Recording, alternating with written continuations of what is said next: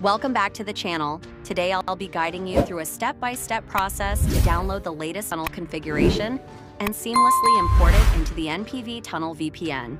This setup will enable secure and efficient browsing, perfect for those looking for fast connections. To start, open any browser and type UDP Custom into the search bar, then press enter. From the list of search results, select the UDP Custom website. This site hosts the necessary configuration files, so take a moment to familiarize yourself with the homepage layout. Once you're comfortable with the site layout, head to the top right corner and click on the hamburger menu icon. This will reveal a list of available options. From this menu, choose the SlowDNS config label. Here you'll see several subcategories such as HTTP custom configs, SocksIP tunnel configs, and dark tunnel configs.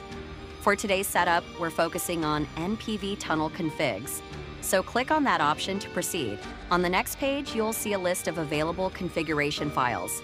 Download any file that suits your needs by simply clicking on it and wait for the download to complete. The file will be saved to your device's Downloads folder in just a few seconds. Now that the file is downloaded, let's move on to setting it up in NPV Tunnel VPN. Head back to your device's home screen, open the Play Store, and search for NPV Tunnel VPN. Download and install the app if you haven't already. Once installed, launch the app to reach the home screen. On the NPV Tunnel VPN home screen, you'll need to import the downloaded configuration file. First, tap on the server label below, then click on the plus icon to begin. A menu will appear with several options. Choose Import Config File.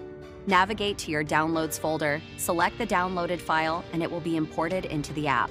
With the config successfully imported, simply tap on it to select it.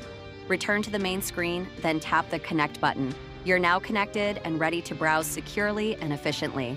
Thank you for watching. If you found this video helpful, please like, share, and subscribe for more tech guides and tutorials. Your support helps us bring you more valuable content. Happy browsing!